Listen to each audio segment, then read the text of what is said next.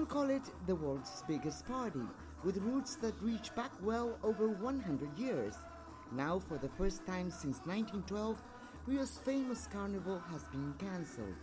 The COVID 19 pandemic to blame. Organizers say it will not be resumed until there is a vaccine. Sheila Martorelli has made carnival costumes for the past 40 years. This year, she and her daughter have barely kept their sewing business alive, the demand for their intricate costumes gone. They focus instead on uniforms and masks. Perdi meu marido por Covid. Então quer dizer, I lost my husband to COVID. I didn't lose 80%, I lost 100%. I lost my house and my income.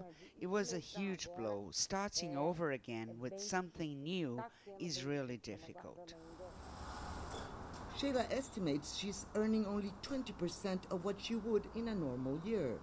It's even worse for the 15 other seamstresses she would otherwise employ who are not working their machines. But Sheila and her daughter are not alone. Rio's Carnival creates thousands of jobs every year that have now vanished. And it's especially hard for those who totally depend on the festival for their livelihoods. 37 year old Alcione Carvalho would normally be receiving a salary as a samba dancing flag bearer, one of the most coveted positions in Estácio de Sá, one of the most traditional samba schools in Rio de Janeiro.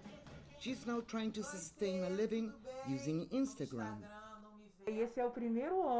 This is the first year that what no one could ever imagine actually happened. It has complicated everything because we depend on Carnival for our income. So now we are left not knowing what to do and trying to figure out ways to make things better. She's giving online lessons from her home so people can stay in shape, forget about the pandemic, and enjoy the passion of samba, taught by a fast stepping expert. It is unclear when it will be safe enough to hold the next samba parade. The COVID 19 pandemic has done what not even the 1980 flu or two world wars could close down one of the most critical and iconic aspects of Brazil's identity. Lucrecia Franco, CGTN, Rio de Janeiro.